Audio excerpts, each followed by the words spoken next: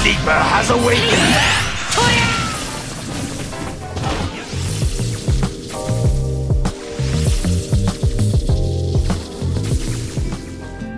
Grandpa Goku? It wasn't the Dragon Ball, Goku. It was your courage and love that opened the right doors. You did it by yourself. I'm proud of you, grandson. Stay pure. That's your armor.